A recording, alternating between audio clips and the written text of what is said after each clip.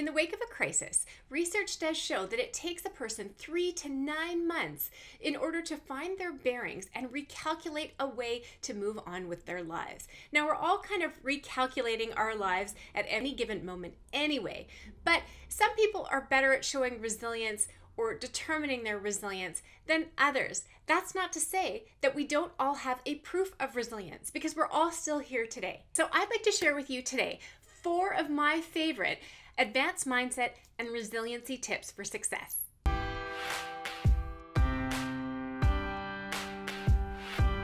Sometimes the challenges that we are confronted with far exceed our belief of what a truly challenging time is.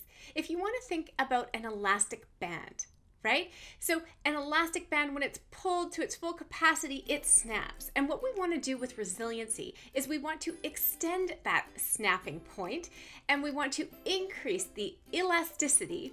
Or, moreover, our re- resiliency so that we don't get to that snapping point. Number one, find the drain to your emotional bathtub.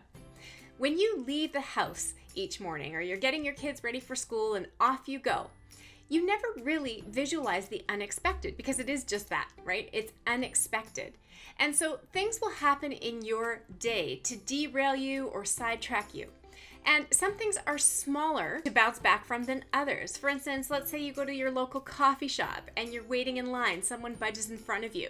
Now, it takes you a little time to get over that, right? It's not a very strenuous scenario that you're going to stay frustrated or angry about, so you can bounce back quite quickly and you show your resilience in that regard. But then there's other things that are more strenuous and stressful events, right? You hear some bad news, an altercation with an employee. Maybe it is a confrontation with a coworker, or you've made a huge mistake in some proposal that you had to do. You don't get to walk away from those situations and move on, and you don't get to shake it off lightly either. So, in those instances, what are you going to do? you're going to find that drain to your emotional bathtub. The water represents fears, stressors, worries, everything that starts to accumulate over time that doesn't serve you. And so, what you were going to do is you were going to unplug that drain so that emotional angst and the water is able to flow out and work its way out of your system so that you're able to then react and be more resilient in other scenarios that start to pile up as the water in your bathtub fills. Number two, look at difficulties as an opportunity for recalculation. What do I mean by that? It's usually that we have a plan and an action plan, and we follow that from beginning to end. And in most scenarios, this equation works for us, and we get to our desired outcome. But what we fail to recognize are the uncertainties and other parts of the equation that we cannot control and the aspects that are out of our zone of control. So, this causes great difficulty for many people. And with building resilience, you learn to take those difficulties and channel them into an opportunity to sit back, recalculate, pivot, and shift in a new direction. And we found that this world, the COVID world that we've been living in, has given us this perspective that difficulties, if we choose to look at it from that perspective, can provide opportunity, can provide us for a reset and a recalculation in our lives. We need to recognize that suffering is this inherent part of human level of our existence, but it shouldn't govern the way we live, nor should it determine our course of our days. So when you are more resilient, you are able to see that suffering from a new perspective or angle, right? So it becomes a different source of motivation to do better, to be better, to improve yourself and your circumstances. Adopt a mindset of excellence and ownership. Your mindset is fundamental in developing a sense of resilience. When you have obstacles that come in your path, it's how you deal with those obstacles that gives you greater resilience, and it does take practice. Many people who have a high resilience level don't blame external factors for things that are happening in their life. They are able to direct their thoughts, feelings, and actions towards the future that they want because they trust themselves and they have faith in their abilities to bring that vision to life. Remember, being resilient allows you to go through the flow rather than with the flow.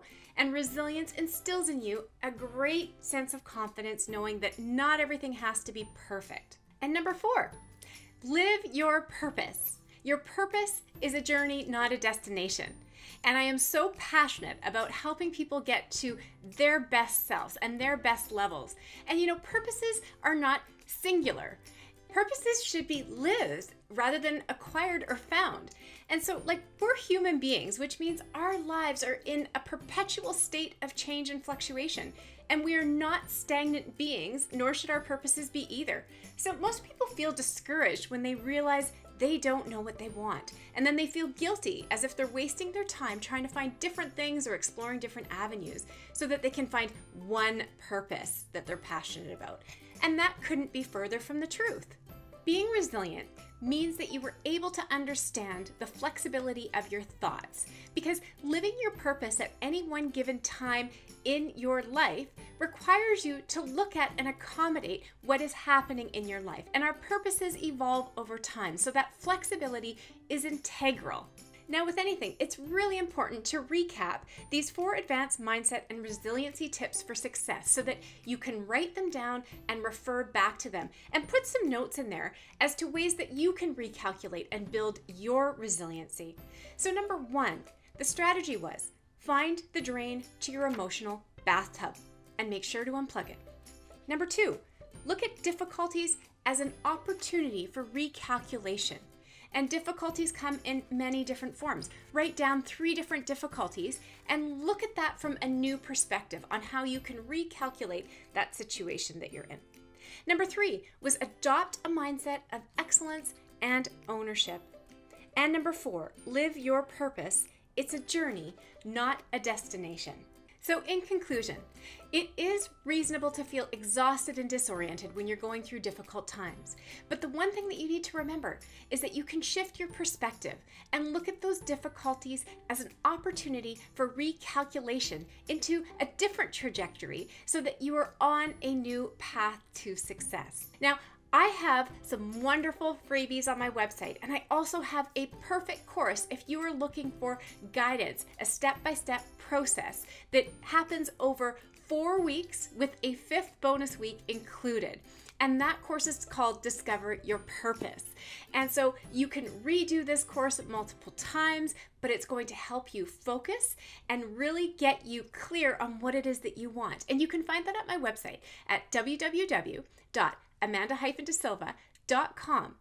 On there, you will find courses, and Discover Your Purpose will be right there for you. Also, click below so that you're subscribed to my YouTube channel. I thank you so much for being here with me, and I hope that this video has helped you immensely.